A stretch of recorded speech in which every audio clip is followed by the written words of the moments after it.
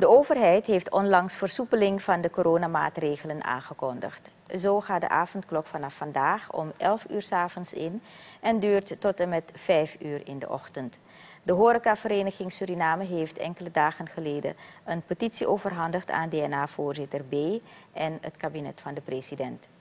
Jonathan Marto Di Harjo, voorzitter van de vereniging, is redelijk tevreden met de inkorting van de avondklok. Hij beschouwt dit als de eerste stap tot het weer op gang brengen van de horecasector. Marto Di Harjo benadrukt echter dat er nog andere verzoeken in de petitie zijn opgenomen. Wij willen kijken uh, in het traject naar 15 november om indoor dining ook open te gooien. Daar hebben we ook goede gesprekken over ge gehad met de minister van Volksgezondheid. Wij gaan nu met de ondernemers uh, specifiek in indoor dining gaan we gesprekken voeren. Omdat de overheid door deskundigen een plan heeft laten uitwerken. En dat wil, wil, wil ze aan ons presenteren.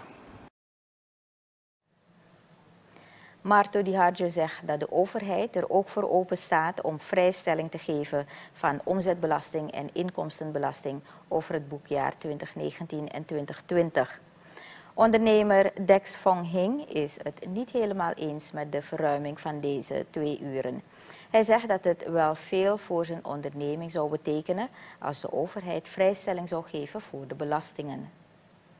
ik vind niet dat die OB op 12% moet zijn. Ja, in zo'n moeilijke tijd waar, waar iedereen elkaar moet helpen, weet je, niet de omzetbelasting verhogen met 50%. Het is killing, het is killing voor ons. Ik bedoel van de prijs van alcohol en um, je inkoop van je eten zijn al ja, twee tot drie keer duurder. En het lijkt net dat elke week, ja, of elke twee weken met 10% omhoog gaat. Dus nou, denk jij, uh, als ondernemer ben je alweer gebonden aan ja, dat je uh, ja, ja, je, je artikelen telkens ook omhoog moet schroeven.